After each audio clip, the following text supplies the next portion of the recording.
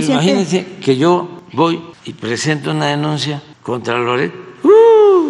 Pues ya hay Se una. vuelve Loret, ¿no? El paladín de la libertad. No, no, no, no, no, no. Pero y Víctor Porque Trujillo, siguen presidente? pensando que el pueblo Trujillo. no existe. También están investigando a Víctor Trujillo. No, a sí, nadie. pues eso dice allí que, que la sí, UIF pero dicen muchas cosas, pero a nadie, ¿Y a no nadie, ni a la señora nadie? Anabel vamos a denunciarla. No, no, no, no, no. Víctor Trujillo es otro decepcionado también. Sí, es más eficaz. Y, él tampoco este, está feliz. Mostrar Y es del pueblo. que calumnian que presentar una denuncia legal. Está bien que los investiguen, presidente, pero ¿por qué no? No hay que investigarlos. Pero, ah, ya le va a decir a la UIF que no los investigue. No, si no, no, no los están investigando. Ah, ¿no?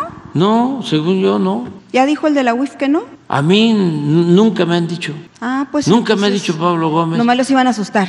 de que nada, nada, nada, nada, no, no, no, hay nada, absolutamente nada. Ah, pues, Vale. presidente, ustedes, eh, ellos, eh, Lored ha hablado mucho de esas, pues de sus hijos y de otras investigaciones, ha puesto mm, videos, digo, audios. Pero no ha hecho Eh, nada porque no presenta pruebas. Ok, pero ¿por qué usted no lo investiga? ¿Para qué? ¿Cómo que para qué?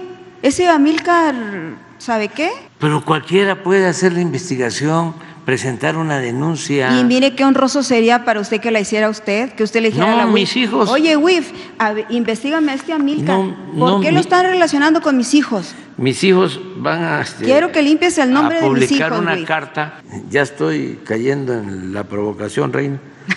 Este,